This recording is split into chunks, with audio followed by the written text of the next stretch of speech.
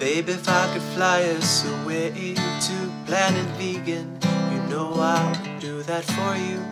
But I know that you wouldn't wanna go unless you could bring every animal on Earth with you.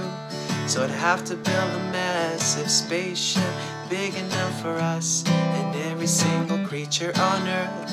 We'd have to make some extra room. Cause during our voyage, some of those animals could give birth. Fly to planet vegan where nobody hurts animals.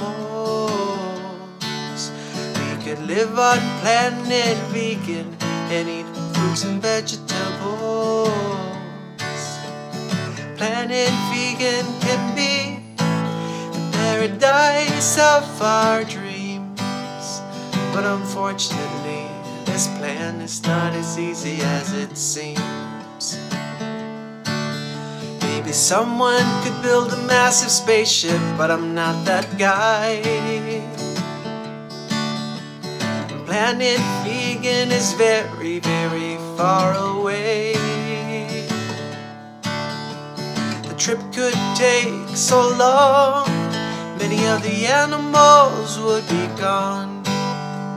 For now, my love, planet Earth is where we've got to stay. Babe, if I could snap my fingers and make everyone go vegan, you know I would do that for you. But I don't have any magical powers. However, I do have a voice, and you do too. We can spread the word about veganism to everyone, everywhere. We can teach people how to respect, how to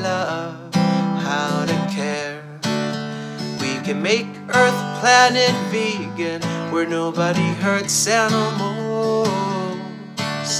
We can make Earth planet vegan and eat fruits and vegetables.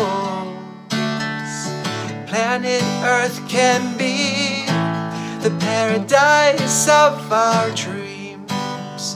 Planet Earth can become the paradise of our dreams.